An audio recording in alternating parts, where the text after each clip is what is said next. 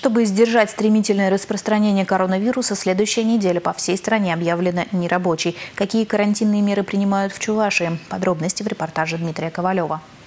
Пятница. Во дворце бракосочетаний Чебоксар непривычно тихо. Заявления от молодоженов в эти дни по распоряжению правительства принимают на портале госуслуг. Торжественные регистрации было решено не отменять. Из-за угрозы заражения коронавирусом в зал пропустят только 10 человек, включая жениха и невесту. Всем остальным гостям новоиспеченную семью придется дожидаться на улице. До 10 человек вместе с фотографом, оператором. Каждый переживает эту ситуацию но все относятся с пониманием. Выдача повторных документов будет производиться через многофункциональные центры города.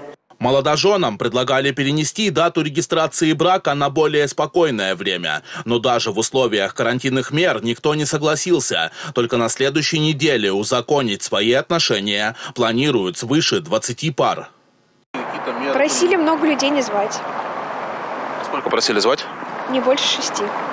На неделе, объявленной нерабочей, советуют закрыться кафе, ресторанам, торговым центрам. К местам с массовым пребыванием людей можно отнести и церкви. Богослужения не отменили, но прихожан с симптомами ОРВИ призвали воздержаться от посещения храмов. Чувашская метрополия ужесточила санитарные правила. Иконы обрабатывают специальными растворами. Рекомендуется не целовать крест и руки, пить святую воду только из одноразовых стаканов.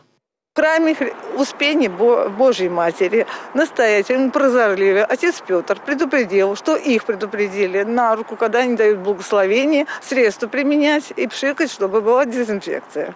Структуры жизнеобеспечения, а также больницы, продуктовые магазины, аптеки, общественный транспорт свою работу продолжат. Всем остальным советуют соблюдать дисциплину и побыть дома. К режиму самоизоляции горожане готовятся. Мы игры придумываем, распределяемся и так далее. Но я думаю, что дома сидеть долго, наверное, тоже не получится. А выходить куда-нибудь в парке, где никого нет, но хотя и парки закрывают.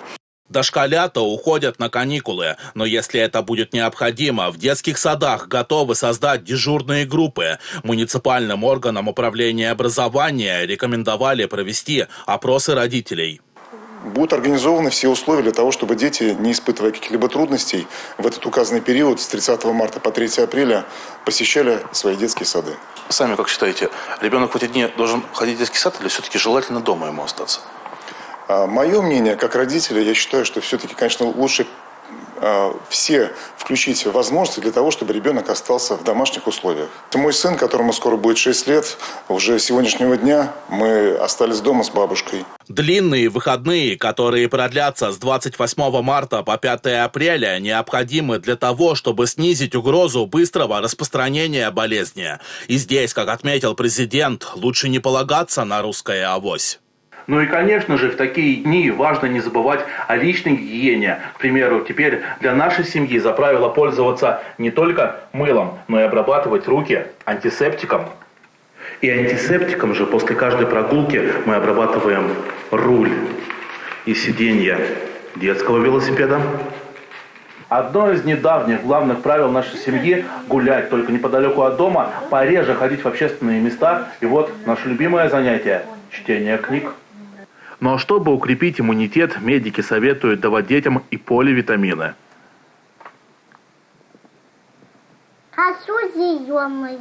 В дни, когда вся страна борется с коронавирусом, не до зрелищ. Артисты переносят концерты, библиотеки, музеи, театры начинают работать дистанционно. Двери для зрителей закрыли учреждения культуры, но, к примеру, в Русском драматическом театре полностью работу решили не приостанавливать. В условиях угрозы распространения новой коронавирусной инфекции спектакли транслируют в интернете при пустых залах.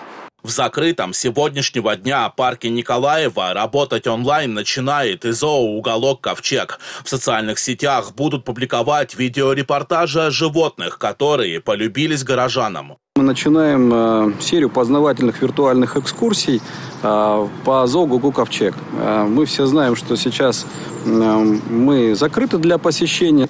И вот наша первая на сегодня у нас подруга. Это корова Зебу, это Люба. Она приехала у нас из Нижнего Новгорода. Вот такая у нас выросла уже большая. Меры, принятые властями для защиты населения от заражения респираторными заболеваниями, в Рио главы региона обсудил заместителем министра здравоохранения страны. В республике действует режим повышенной готовности. За развитием ситуации Олег Николаев сегодня следит из Москвы по видеосвязи. Это прежде всего через оперативные доклады э, республиканских ведомств, которые заняты э, деятельностью по реализации мер по недопущению распространения эпидемии. Ну и наша самая главная задача, если кто-то вдруг заболел, своевременно изолировать этого человека. Сегодня Олег Николаев принял участие во флешмобе «Спасибо врачам», которые заступили на передовую в борьбе с эпидемиями. Под медицинским наблюдением в республике находится более 500 человек. Первый зараженный коронавирусом житель Чувашии лечится в инфекционном отделении БСМП. И уже на следующей неделе его могут выписать из больницы. Дмитрий Ковалев и Бахтияр Велиев. Республика.